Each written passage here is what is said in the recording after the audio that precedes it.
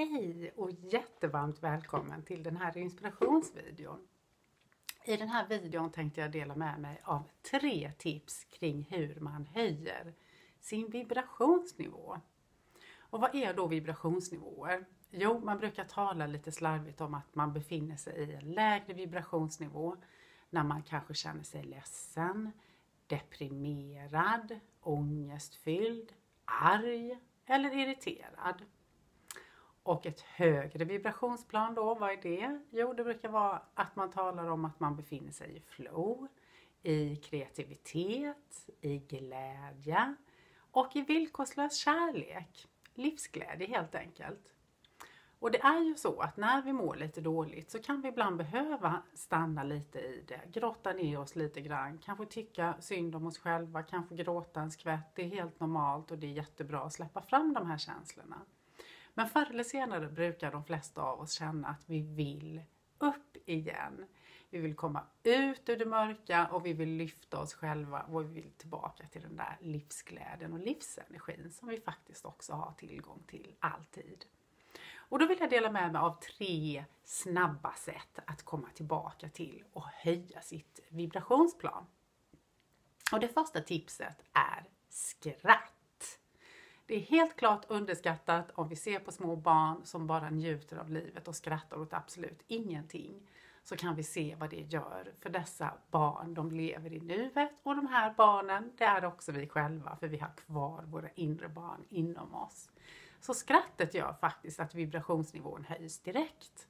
Och då kan man till exempel titta på en rolig film, man kanske kan ringa någon som man vet att man alltid har roligt med när man pratar med den här människan.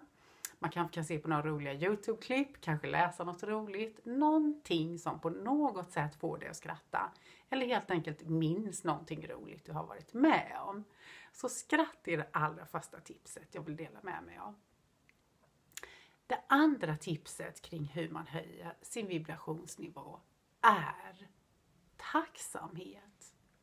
För det är ju ofta så att när vi mår lite dåligt så har vi en tendens kring att fokusera på att vi befinner oss i en situation vi inte vill befinna oss i och att saker och ting borde vara på ett annat sätt. Och dessa tankar i sig sänker vårt vibrationsplan när vi hela tiden befinner oss i en situation som vi upplever på något plan är fel. Våra tankar lurar oss till att tänka att detta är fel, det borde vara på ett annat sätt och så upplever vi att vi är fast. Och vi kanske känner verkligen att det finns ingenting att glädjas över i våra liv. Om vi då medvetet bestämmer oss för att faktiskt fokusera på tacksamheten, det vi har i våra liv att vara tacksamma över, så höjer vi våra vibrationsplan.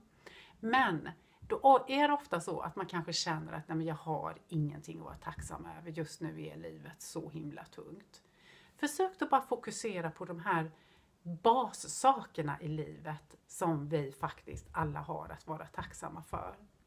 Vi kan komma ner på en sån eh, grundläggande nivå så att vi kan vara tacksamma att vi faktiskt kan andas.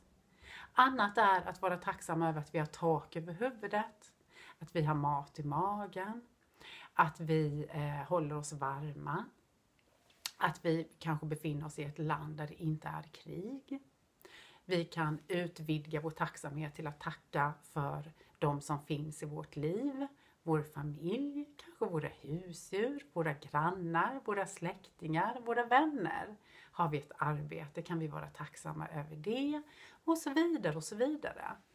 Och som sagt också gärna tacka för det som är väldigt, väldigt basaktigt i våra liv. Så som till exempel tillgången till vatten, vilket inte alla har över jorden. Så fokusera på tacksamheten så höjer du ditt vibrationsplan. Och ju mer vi börjar tacka för saker, ju mer inser vi vad vi har att vara tacksamma för. Tacka högt eller tacka inom dig eller skriv ner det som du är tacksam över. Och det tredje tipset jag vill dela med mig av när det gäller att höja vibrationsnivån är att ge.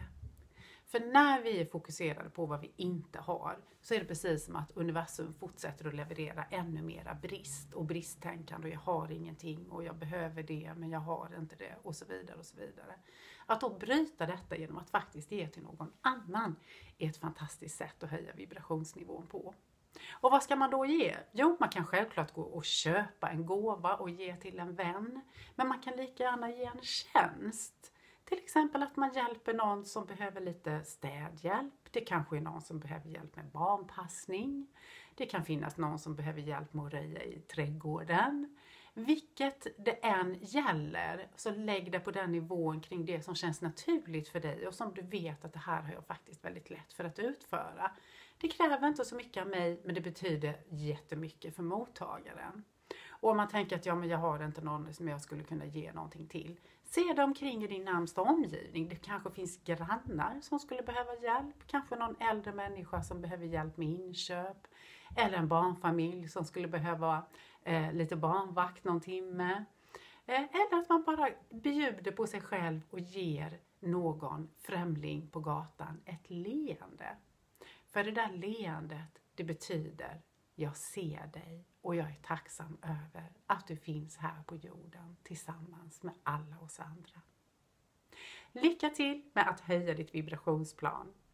Skriv gärna här under en kommentar kring dina tankar, vad det ger dig att se på videon eller om du själv har tips på vilket sätt man kan höja sitt vibrationsplan på. Om du tycker om videon får du väldigt gärna dela den så att fler kan se det här och också hjälpa till att höja vibrationsplanet. För när vi gör det så höjer vi också varandra. Tack för att du tittade. Hejdå!